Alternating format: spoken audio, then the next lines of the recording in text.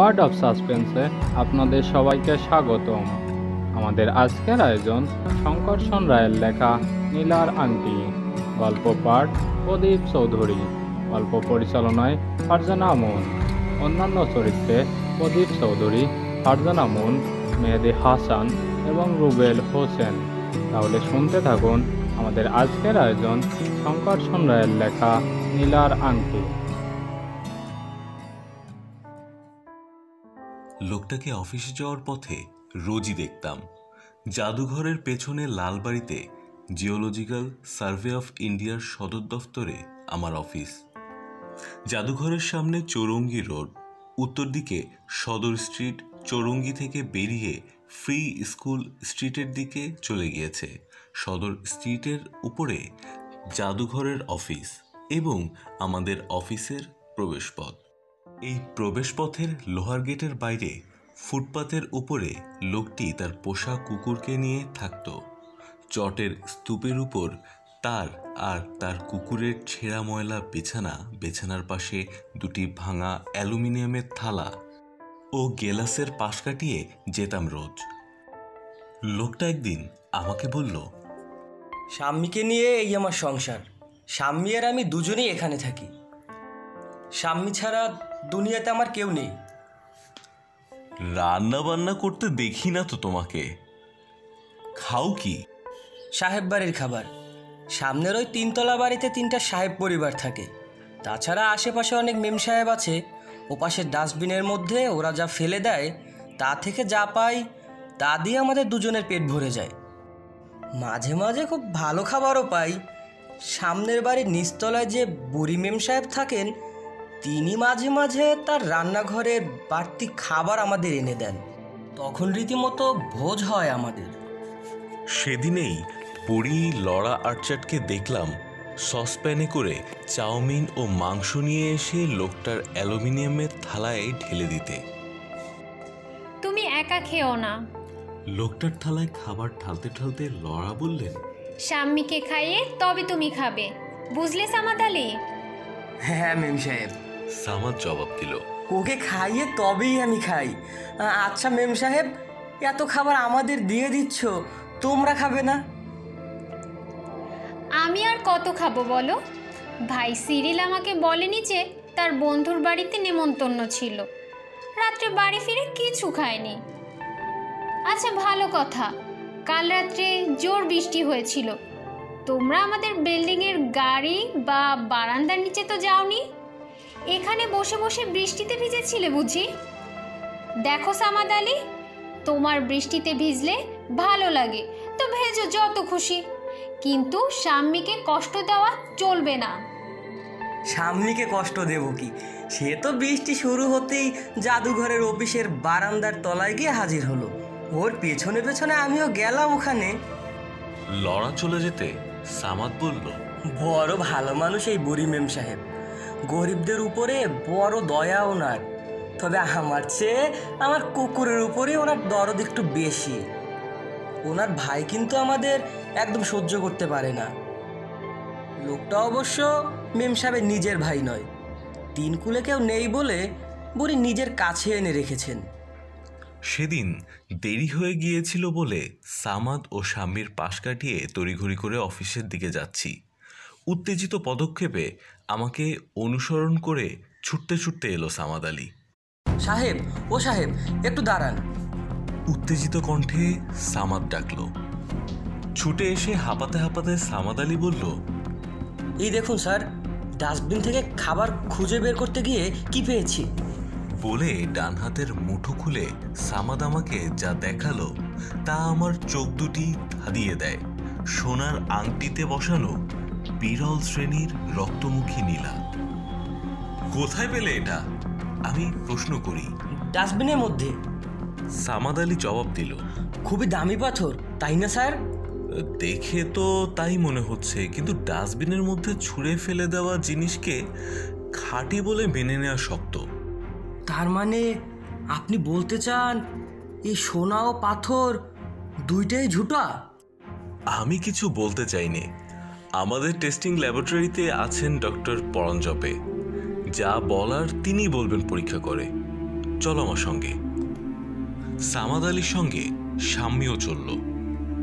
এই সেই আংটি। আংটিটা দেখা মাত্র উত্তেজিত কণ্ঠে বলে উঠলেন ডক্টর পরাঞ্জপে।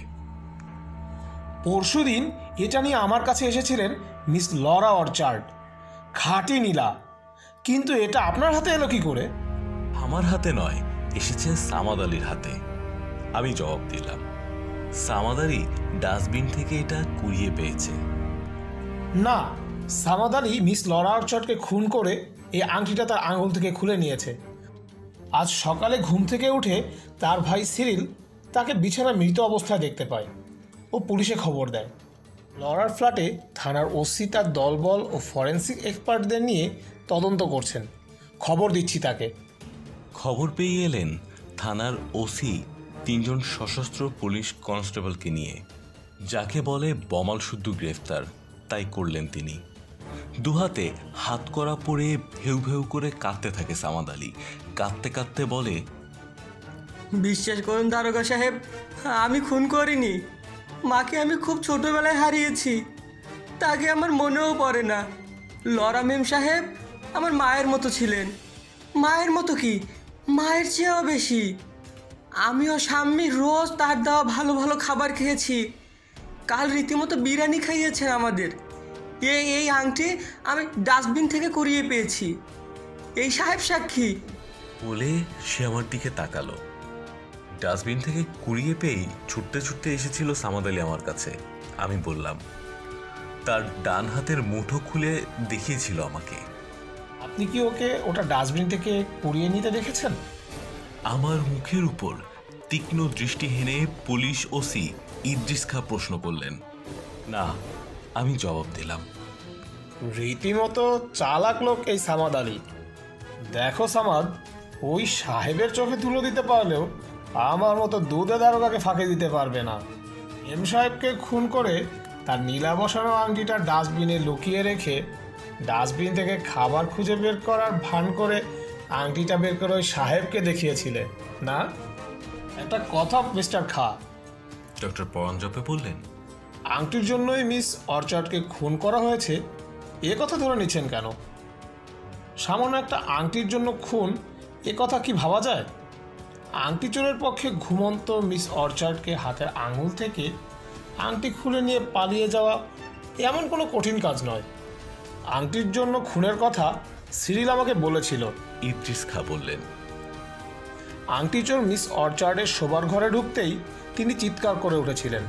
তার চিৎকার শুনে ঘরে ঢুকে সিরিল দেখল তার দিদি মরে পড়ে আছেন এবং তার আঙ্গুলে নীলার আংটিটা নেই। সে মনে করে যে মিস অর্চার্ডের চিৎকার থামাতেই চোর তার গলা টিপে ধরেছিল। এই খুনি চোরকে হাতে নাতে ধরতে পেরে আমি খুশি। হুজুর আমি চোর নই খুনি নই। ফোপাতে ফোপাতে সামাদ আলী বলল বিশ্বাস করুন ডাস্টবিনে আংটিটা খাবার খুঁজতে গিয়ে পেয়েছি। আংটিটা ধরা পড়ে গিয়ে তুমি যে চোর তা প্রমাণ হয়ে গিয়েছে। খুনি কিনা তা প্রমাণও হয়ে যাবে এখনই। চলো আমাদের সঙ্গে। সামাদ আলীকে ধরে বেঁধে মিস অর্চার্ডের ফ্ল্যাটে নিয়ে যান ইদ্রিস খা ও তার পুলিশ বাহিনী। ইদ্রিস খায়ের নির্দেশ মতো আমিও যাই তাদের সঙ্গে। মিস অর্চার্ডের মৃতদেহের উপর ঝুঁকে পড়ে তার গলায় খুনির আঙ্গুলের ছাপ পরীক্ষা করছিলেন ডক্টর কল্যাণ বসুর ফরেন্সিক ল্যাবরেটরির বিজ্ঞানী সুবীর সিংহ। সামাদ আলীকে তার দিকে এগিয়ে ইদ্রিস খা বললেন, খুনিকে ধরে নিয়ে এসেছি, ডক্টর সিনহা। মিস অর্চার্ডের গলায় এরিয়া আঙুলের হাতে ছাপ আছে বলে সন্দেহ করছি। পরীক্ষা করে দেখুন। আমাদের অনুসরণ করে মিস আর্চার্ডের শোবার ঘরে ঢুকে পড়েছিল সাম্যও। মিস অর্চার্ডের মৃতদেহের গন্ধ শুকতে শুকতে সে তার শিয়রে বসে কাঁদতে থাকা সিরিলের গায়ের গন্ধ শুকতে শুরু করে। আমাদের এই নোংরা কুকুরটা এখানে কেন? সিরিল বিরক্তি মাখানো কণ্ঠে বললে ওকে এখান থেকে তাড়িয়ে দিন মিস্টার খান। পুলিশ বাহিনীর তাড়া খেয়েও সিরিলের গায়ের গন্ধ শুকতে থাকে স্বামী এবং উত্তেজিতভাবে ঘেউ ঘেউ করে যায়। মিস্টার খান। উঠে দাঁড়িয়ে সুবীর সিংহ বললেন আমি এই লোকটির হাতের ছাপ নেব। দয়া করে আপনারা আমাকে সাহায্য করুন। সিরিল স্মিথ তো অর্চার্ডের ভাই। ইদ্রিস খা অবাক হয়ে তাকালেন সুবীরের মুখের দিকে। তার হাতের ছাপ নেবেন কি মশাই? মিস অর্চার্ডের মৃতদেহে এই কুকুরটি ওই লোকটার গায়ের গন্ধের হদিশ পাচ্ছে। বাই হলেই কি সন্দেহের বাইরে হবে? পলায়মান সিরিলকে চেপে ধরে পুলিশ বাহিনীর দুজন সুবীর সিংহ তার হাতের ছাপ নিয়ে যা করণীয় করতে থাকেন। হানিংবাদে সুবীর সিংহ বলে উঠলেন পেয়েছি। কি পেয়েছেন? খুনির হদিশ সিরিল স্মৃতি খুনি। নীলার আংটি নয় লড়ার টাকার লোভে সিরিল তাকে খুন করেছিল। লড়ার উইল অনুযায়ী তার যাবতীয় বিষয় সম্পত্তি তার মৃত্যুর পর সিরিলের পাওয়ার কথা। আচ্ছা সিরিল কেন তুমি নীলার আংটিটা ফেলে দিলে? ইদ্রিস খা সিরিলকে গ্রেফতার করতে করতে প্রশ্ন করলেন। এমন একটা চোখ ঝলসানো পাথর ডক্টর পরঞ্জপে বলেছিলেন হীরের চেয়েও দামি। অপয়া পাথর। সিরিল বললে খুন হওয়ার আগের দিনই দিদিকে ওটা উপহার দিয়েছিলেন মিয়ানমার থেকে আসা তার এক বন্ধু। ওটা পড়েছিলেন বলেই খুন হলেন। কাজেই দিদি খুন হতেই আমার প্রথম কাজ হলো ওটাকে ডাস্টবিনের মধ্যে ফেলে দেওয়া। শুনছিলেন আমাদের আজকের গল্প শঙ্করসন রায়ের লেখা নীলার আংটি। গল্পটি যদি আপনাদের ভালো লেগে থাকে তাহলে লাইক, কমেন্ট এবং শেয়ার করুন। আমাদের পরবর্তী গল্পগুলো শোনার জন্য চ্যানেলটি সাবস্ক্রাইব করে আমাদের সঙ্গে থাকুন। ধন্যবাদ।